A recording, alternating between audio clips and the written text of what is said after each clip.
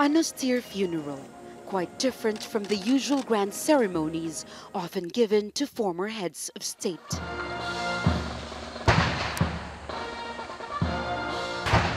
The faces of those taking part here are covered due to COVID-19 restrictions.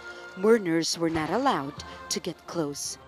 But the burial of the ashes of the 15th President of the Philippines went ahead in a dignified and solemn service. President Benigno Aquino died at the age of 61.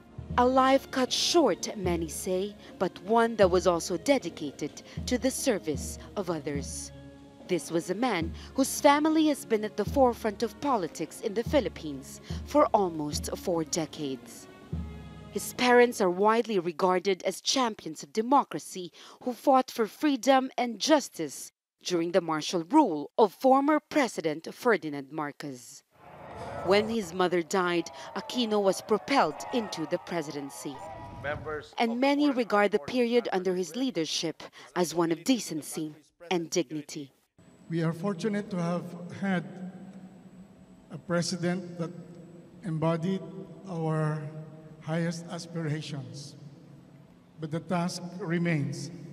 PNoy, your death has a special message for all of us. This death comes in the wake of a new political era even as it claims our In the last bodies. few years of his life after he stepped down from office in 2016, President Aquino withdrew from the public eye. He endured his illness in private and remained silent despite repeated verbal attacks against him and his opposition party by President Rodrigo Duterte and his supporters. People here tell us his funeral was a simple, fitting farewell to a once reluctant president who soon came into his own and served his country well. His ashes buried not at the Heroes Cemetery where former heads of state are usually brought, but alongside his parents, as he wished. President Benigno Aquino lived simply, without much fanfare, and many Filipinos are yearning for his kind of leadership once again.